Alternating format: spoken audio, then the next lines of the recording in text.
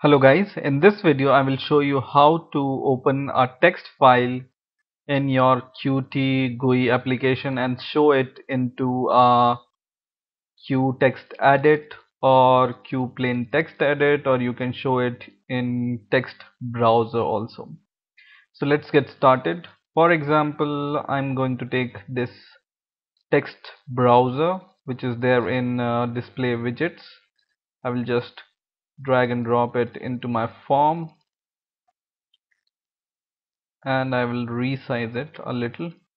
And I will take a push button from my toolbox or widget. And I will change its uh, text or its title as open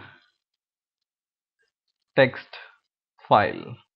Okay and then I will just right click go to slot and I will choose the first option which is clicked and I'm in the code behind. First of all I'm going to import or include some files which are include q file for reading the text file. Second is include q text stream for converting our file to text stream. And third is I'm going to include q message box for showing any message if the file path is not correct or some other problem comes okay so now the includes are done. Now here I will write my code in this push button click method.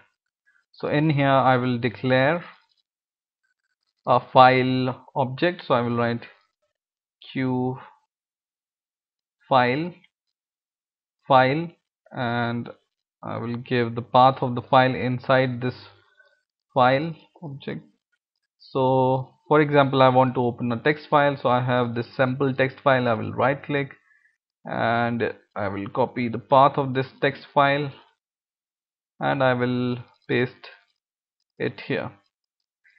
And don't forget to change this path with double slashes. So the single slashes not work if you want to open the file text file in the uh, in a text edit. So just add one more slash to every slash okay? Now in we are going to check whether our file is open or not. So in the second line I will write if my file which is my file object which is this object and dot open. And here q i o. Device. And I will give it read only. So my file is if my file is not open then I will show a message in a message box. So I will write message box. And I'm going to make it as information. So I'll write information. And then the first argument for the message box 0 the second argument would be the title. I would say info for example and the third option would be the argument for file error. So I will copy once again the file object and I will say dot error string. Okay so if my file is op not open for some reason then I will show show the message. In the next line I will uh, convert my file into a stream so that I can show it into the text box. So what I will write? I will write q q text stream. And I will give object name and I will pass inside this my file object. And I will say like this. Now once I converted my file into a stream then I can show this file into my text browser. So I will copy the name of my text browser from from here.